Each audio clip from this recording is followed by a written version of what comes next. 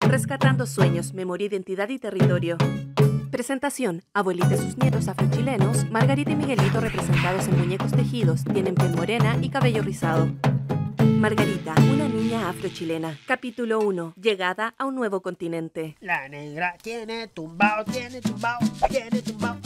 y no camina de lado, y no camina para atrás, y no camina para En la cocina. ¿Era para atrás o para el lado o para adelante? Bueno, no importa, lo importante es que tiene tumbao, tiene tumbao, tiene tumbao. Ay, se está demorando mi nietecito. ¡Miguel!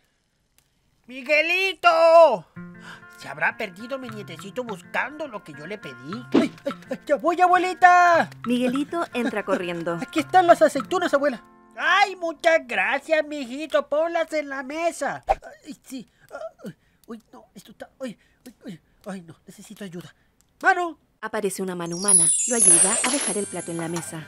gracias, mano. Ay, no, este niño con las que sale. Abuelita, abuelita, ¿y, y, y- para qué quieres las aceitunas? Ay, es que voy a preparar algo muy rico. ¿Y qué vas a preparar, abuela? Dime, dime, dime, dime, dime. Voy a preparar un...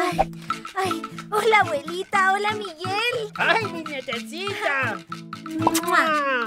¡Margarita! ¡Margarita, Margarita! ¡Mua!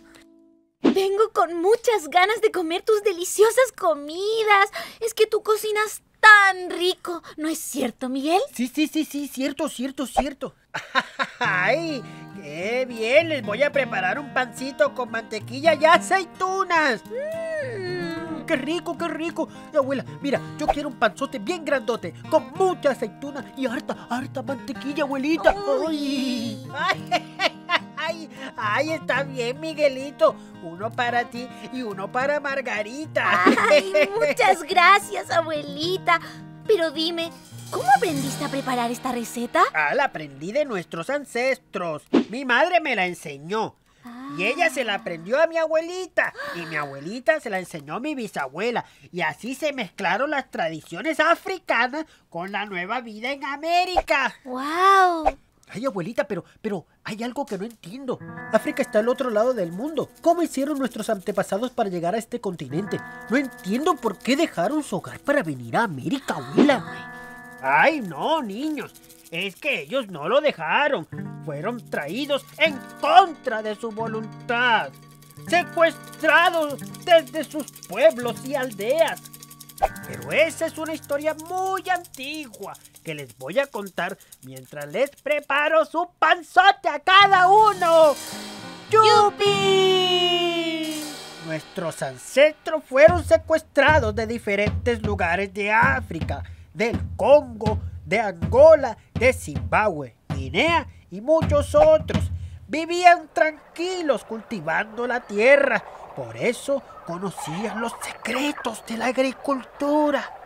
Hasta que un día llegaron los diablos blancos. ¿Y quiénes eran esos, abuelita? Así les decían nuestros ancestros a los europeos que secuestraron personas en África para traerlos a trabajar de la manera más penosa y cruel. ¡Qué injusto, abuelita! ¿Cómo pudieron hacer algo así? Sí, abuelita, qué injusto, qué injusto. Así es, niños. Nuestros ancestros sufrieron mucho. Ah, pero les digo algo. La primera mujer africana que llegó a estas tierras se llamaba Margarita. Y en honor a ella, tú llevas su nombre. ¡Oh! ¡Ay, qué increíble! Sí. No lo sabía, abuelita. No, no, yo tampoco, abuelita, yo tampoco. Ah, sí. Llegó con Diego de Almagro, el primer conquistador que se adentró en estas tierras. Eso fue ya hace bastante. Siglos atrás. Domingo. Domingo, hombre. Señor, señor, aquí estoy. Domingo, aquí descansaremos. Bienvenidos a las tierras de Nueva Toledo, que su excelentísima majestad, el rey Carlos I, me ha otorgado. Arme el campamento. Pasaremos la noche en este lugar. Mañana saldremos temprano. Ordénele a los esclavos que descarguen las mulas y que preparen la comida para la hueste. Como ordene, señor. Nos vamos rápido, hombre. Margarita. Margarita. Sí, señor. Margarita. Asegúrate de recordar cada detalle. para que puedas escribirlo después. Sí, señor. Así lo haré, don Diego. Dejaré fiel registro de estas nobles tierras. Bueno, pero apúrate, vamos, hombre, vamos, vamos. Vaya que estas tierras están como un poco áridas, ¿ah? Pero bueno, a caballo regalado no se le mide el colmillo, vamos. De vuelta al presente. Las mujeres negras hemos estado en Chile desde hace muchos años. Mis antepasadas eran traídas para limpiar, lavar y cargar las cosas de los españoles. En ese tiempo, Arica no era la ciudad que es hoy. No, señor. Pertenecía al virreinato del Perú.